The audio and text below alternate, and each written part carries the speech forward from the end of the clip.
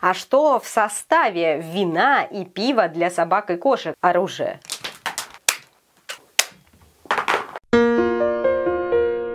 А ради ошейников для домашних животных убивают диких животных. Сделали вы бы это или нет?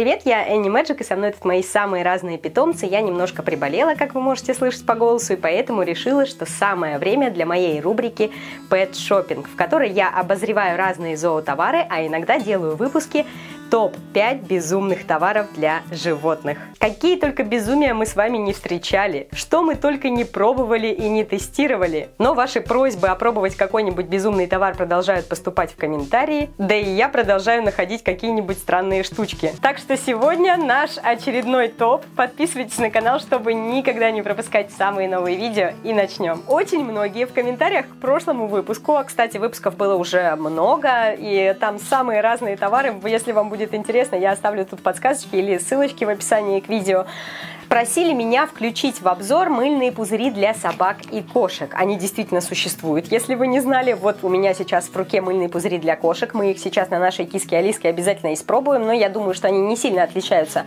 от собачьих. В составе у нас написано мыльный раствор, то есть мыло. Понятное дело, что, скорее всего, кошка, когда будет играть с мыльными пузырями, она невольно будет их задевать. Может мыло попасть в глаза или в рот, ну ладно экстракт кошачьей мяты, ну, понятно для чего, чтобы кошка им заинтересовалась, и полимерные материалы. И если я не ошибаюсь, то полимерные материалы, по сути, это та же пластмасса, пластик. Ну, не будем вдаваться в подробности, но это что-то абсолютно ненатуральное и, я бы сказала, даже вредное для животных. Мы их, конечно же, испробуем. Я думаю, от одного раза никто не умрет, но я бы не рекомендовала вам тратить свои деньги, чтобы вредить, по сути, своему питомцу. Смотри, у меня тут есть для тебя мыльные пузыри. А, я сейчас накапаю на себя, я так и знала.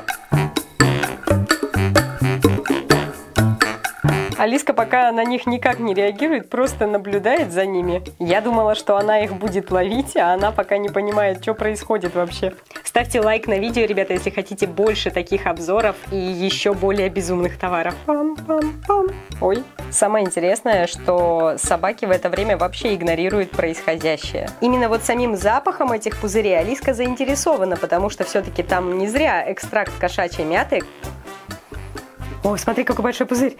Сами пузыри, они ее не особо интересуют. Кстати, написано, что они для игр поощрения и тренировок. Чтобы заставить Алиску играть, беситься и активизировать ее, нам достаточно обыкновенной игрушки кошачьей на палочке, на веревочке. Так что, возможно, это очередные извращения двуногих. А кошке нужно-то всего ничего, чтобы веселиться. Мы с Киской Алиской совсем забыли вам сказать, что сегодня на моем канале Annie Magic вышел клип Дани, героя Смешилкиных. Всем девочкам посвящается. Ссылочки будут там внизу в описании.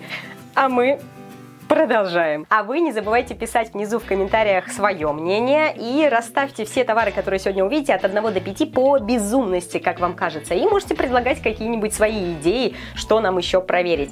Сейчас у меня в руках не шампунь, как вы могли подумать, или что-то подобное для собак и кошек, а самые настоящие духи. Да, вы не ослышались, духи для собак. Doggy Fragrance, стробери лимонад, клубничный лимонад. Smells so good. Пахнет так вкусно. Сейчас сейчас мы проверим. Это нужно побрызгать на собаку после мытья, например, или просто так, чтобы типа не пахло собачатиной.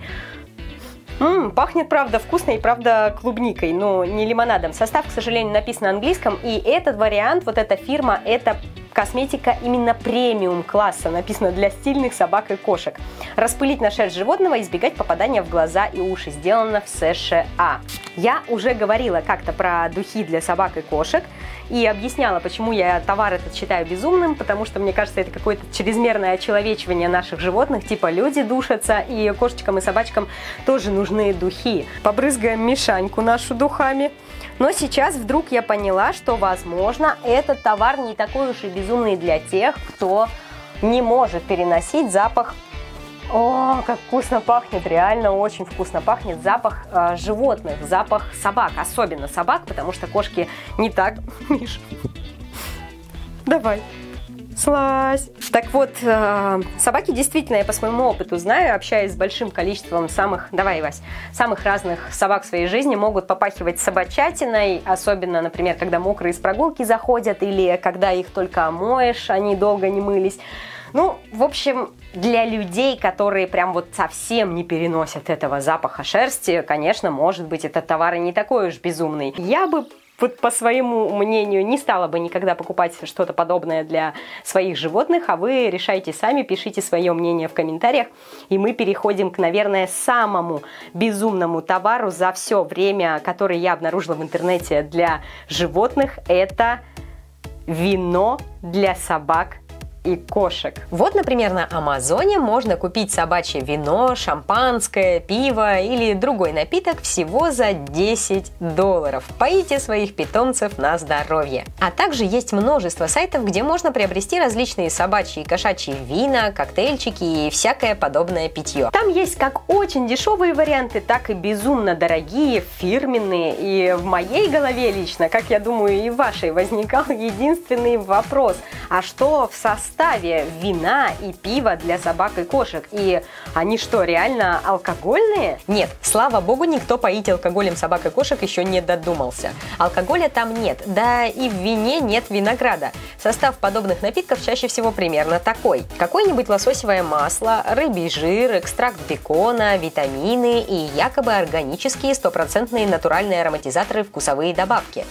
Хм. То есть, по сути, назвать это вином, пивом или другим алкогольным напитком нельзя. Это просто вкусная жидкая смесь для животных а эти все названия и упаковки – способ привлечь внимание тех самых хозяев, этих собачек и кошечек, которые, наверное, выпивают винцо по вечерам за ужином или пьют пивко, когда смотрят телевизор и думают, а почему я, значит, пью вино и пиво, а моя собака или кошка этого лишена этой радости? Закажу-ка я, куплю-ка я ей тоже бутылочку вина или бутылочку пива. Но несмотря на то, что состав более-менее адекватный, не всегда, особенно у дешевых вариантов этих, э, он такой уж хороший. Например, совсем непонятно, что это за органические ароматизаторы и усилители вкуса.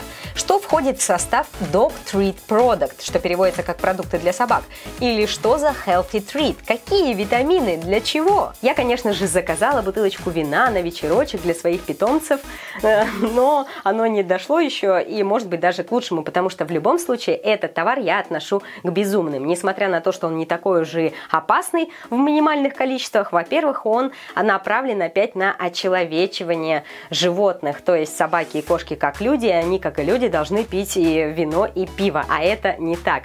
Второе, это то, что опять же это популяризация вот этой всей алкогольной тематики, что я считаю нехорошо популяризировать алкоголь. И в-третьих, это то, что на самом деле этот товар абсолютно не нужен. Если ваша собака и кошка питается правильно, и она получает все витамины и все, что ей нужно из пищи, то вот это вот все приколюшечки, добавочки какие-то, тем более вот в таком вот странном виде, с такой вот странной подачей, по мне, животному не нужны. А решать, конечно, вам. Напишите, купили бы вы вина своей собаке или кошке, или пивка, или проголосуйте в вопросике. Может быть, кто-нибудь задумывался об этом. Вот прям, ребят, если честно, очень устала я отращивать волосы. Не знаю прям, что с ними делать. Жарко, лезут в глаза. В общем, сделаю вот так. И мы переходим к следующему нашему товару. Это оружие но не вот такой вот пистолет, как вы могли подумать, возможно, для животных, таких я еще пока не видела. А выглядит он вот так. И этот пистолетик мне прислали на канал Magic Pets, но я просто не могла потерять шанс и, и не использовать его в нашем обзоре. Я один раз показывала картинки и говорила, насколько это безумный товар, но сегодня у нас есть шанс его на самом деле про тестировать. Вот такие у нас есть лакомства, которые все очень любят. Платинум, такие вот маленькие, как раз они нам очень подходят. Эти лакомства нам нужно засыпать вот сюда, вот в эту вот дырочку специальную. Сейчас насыпем.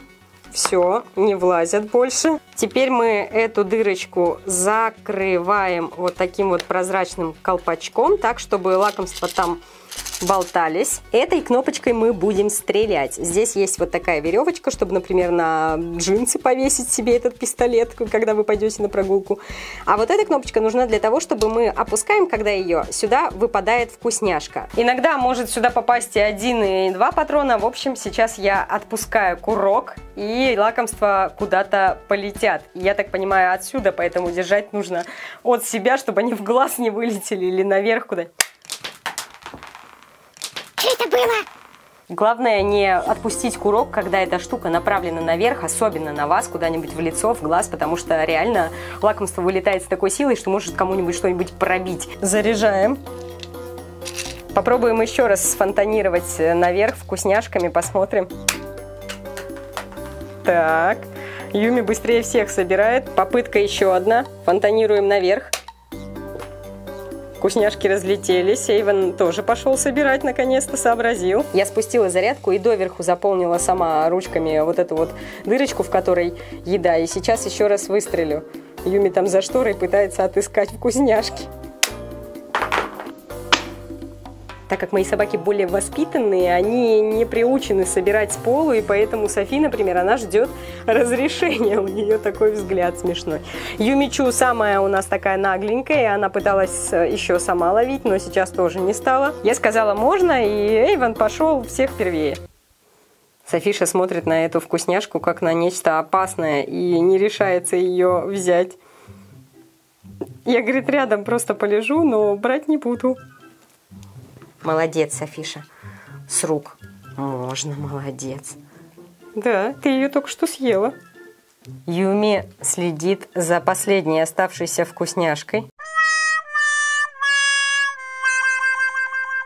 И тоже не решается ее взять. Потому что... А Эйвен там все подобрал, да?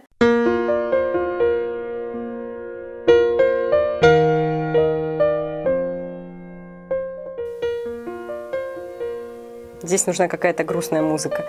Ладно, молодец, Юмичу. Ты молодец. Ты молодец. Ты. С Эйвеном нам придется позаниматься. Нет. А кто тут насобирал, Ивась, а? Все вкусняшки тут с пола кто собрал, а? Эйвен, да? Ты?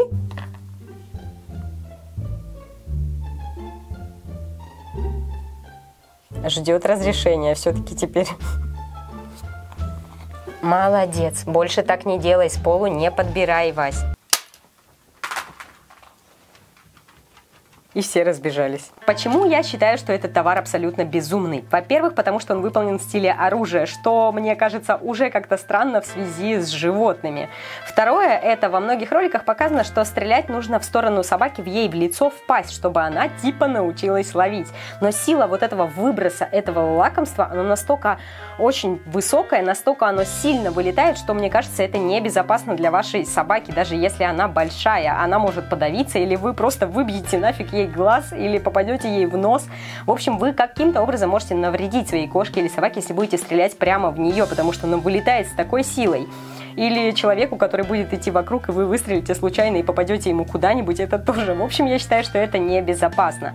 А если же стрелять просто куда-либо вверх, наверх, в сторону, чтобы собака якобы научилась бежать за этим и съедать это, то как бы получается, вы просто приучаете свою собаку подбирать с земли, и собака начнет поднимать с земли все съедобное, потому что она помнит, что это весело, интересно и, главное, вкусно, без всяких там уже игрушек, потому что она просто приучена. И и она в какой-то момент может поднять что-то отравленное или испортившееся. Поэтому я считаю, что эта игрушка абсолютно бесполезна и даже, я бы сказала, небезопасна. Все наверняка знают, что существует огромное количество человеческих украшений очень-очень-очень неимоверно дорогих. Я, честно скажу, я не вижу в этом всем никакого смысла, но это моя жизненная философия и позиция. Но есть кое-что другое ошейники с бриллиантами. И не только бриллиантами для любимых кошечек и собачек. Например, за 3,2 миллионов долларов. В переводе на рубли по примерному курсу на сегодняшний день это около 200 миллионов рублей. То есть один ошейник это примерно 10 квартир в Москве стоимостью по 10 миллионов. Это ожерелье для животных за 3,2 миллиона долларов выпустила американская компания I Love Dogs и называется оно Amour Amour. Кожа крокодила, 1657 бриллиантов, 52 карата и 3 крупных бриллианта по 7 карат. Если денег на такой ошейник у вас нет, а питомца порадовать хочется, не расстраивайтесь, вы можете купить ошейник Amour de la Mer. Сапфир 8,5 карат, 636 бриллиантов в платине и золоте, и это всего лишь-то 900 тысяч долларов, около 60 миллионов рублей, 6 домов по 10 миллионов. Ну а если для вашей собачки или кошечки все это слишком, вы можете приобрести ошейнички чуть подешевле, например, из кожи страуса с алмазами. Драгоценные камни добываются на нашей и так уставшей планете Земля, чтобы просто кого-то украсить. А ради ошейников для домашних животных убивают диких животных. Ужасная логика мира, в котором мы с вами живем. Если, представьте, вы были бы, например, реально миллиардером, для которого тысяча долларов, две, три, четыре, пять, а то и 900 тысяч долларов, как э, вот этот вот ошейник, и вы способны купить своей собачке или кошечке за такие деньги ошейник. Сделали вы бы это или нет? Мне реально интересно, вот здесь вот будет опросик, проголосуйте или напишите свое мнение в комментариях. Вот представьте, что вы такой же человек, у которого примерно вот эти деньги, это как ваши 50 рублей. Мое мнение в этом вопросе, я думаю, и так понятно. Я считаю, что люди-то безумны, если тратят такое большое количество денег себе на украшения, не говоря уж о животных. Потому что мне кажется, что если ты имеешь такое количество денег, ты можешь совершить столько всего крутого, стольким помочь э, животным и людям, и вообще просто столько счастья в этот мир принести, чем какое-то кратковременное счастье надевания на себя вот этих бриллиантов, владениями, фоточка в Инстаграм. Переходите по ссылочкам на новые ролики на других моих каналах и увидимся скоро в новых видео. Голосуйте вопросики, подписывайтесь на наш Инстаграм, там все о нашей жизни, и ставьте лайк, если хотите еще безумные товары товары. И пишите свое мнение в комментариях. Сколько всего надо сделать? Все, пока!